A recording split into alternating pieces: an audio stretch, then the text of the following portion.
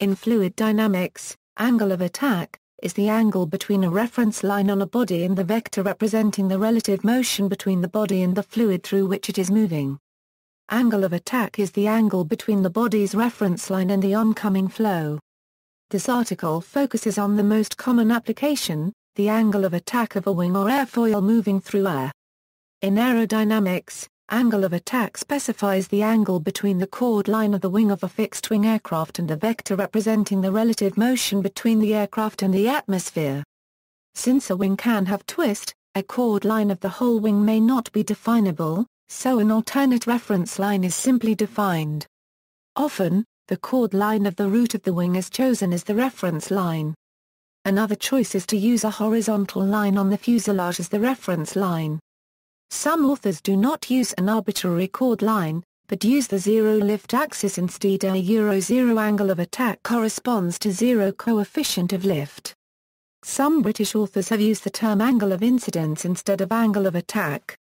However, this can lead to confusion with the term rigger's angle of incidence meaning the angle between the chord of an aerofoil and some fixed datum in the aeroplane.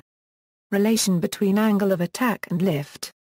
The lift coefficient of a fixed-wing aircraft varies with angle of attack. Increasing angle of attack is associated with increasing lift coefficient up to the maximum lift coefficient, after which lift coefficient decreases. As the angle of attack of a fixed-wing aircraft increases, separation of the airflow from the upper surface of the wing becomes more pronounced, leading to a reduction in the rate of increase of the lift coefficient. The figure shows a typical curve for a cambered straight wing. A symmetrical wing has zero lift at 0 degrees angle of attack.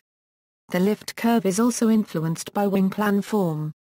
A swept wing has a lower, flatter curve with a higher critical angle.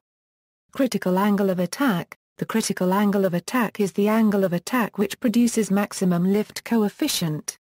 This is also called the stall angle of attack. Below the critical angle of attack, as the angle of attack increases, the coefficient of lift increases.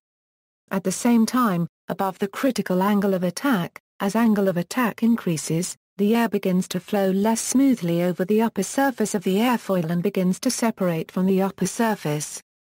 On most airfoil shapes, as the angle of attack increases, the upper surface separation point of the flow moves from the trailing edge towards the leading edge. At the critical angle of attack, upper surface flow is more separated and the airfoil or wing is producing its maximum coefficient of lift. As angle of attack increases further, the upper surface flow becomes more and more fully separated and the airfoil wing produces less coefficient of lift. Above this critical angle of attack, the aircraft is said to be in a stall. A fixed-wing aircraft by definition is stalled at or above the critical angle of attack rather than at or below a particular airspeed. The airspeed at which the aircraft stalls varies with the weight of the aircraft, the load factor, the center of gravity of the aircraft and other factors. However the aircraft always stalls at the same critical angle of attack the critical or stalling angle of attack is typically around 15 a degree-20 a degree for many airfoils. Some aircraft are equipped with a built-in flight computer that automatically prevents the aircraft from increasing the angle of attack any further when a maximum angle of attack is reached, irrespective of pilot input. This is called the angle of attack limiter or alpha limiter. Modern airliners that have fly-by-wire technology avoid the critical angle of attack by means of software in the computer systems that govern the flight control surfaces. In takeoff and landing operations from short runways, such as naval aircraft carrier operations and STOL backcountry flying, aircraft may be equipped with angle of attack or lift reserve indicators. These indicators measure the angle of attack or the potential of wing lift directly and help the pilot fly close to the stalling point with greater precision. STOL operations require the aircraft to be able to operate close to the critical angle of attack during landings and at the best angle of climb during takeoffs. Angle of attack indicators are used by pilots for maximum performance during these maneuvers since airspeed information is only indirectly related to stall behavior. Very high alpha some military aircraft are able to achieve controlled flight at very high angles of attack, but at the cost of massive induced drag. This provides the aircraft with great agility. A famous military example is sometimes thought to be Pugachev's Cobra. Although the aircraft experiences high angles of attack throughout the maneuver, the aircraft is not capable of either aerodynamic directional control or maintaining level flight until the maneuver ends.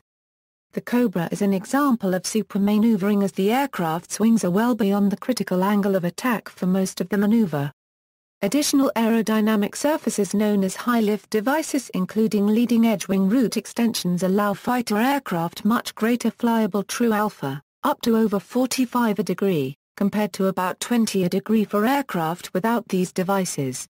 This can be helpful at high altitudes where even slight maneuvering may require high angles of attack due to the low density of air in the upper atmosphere as well as at low speed at low altitude where the margin between level flight AOA and stall AOA is reduced.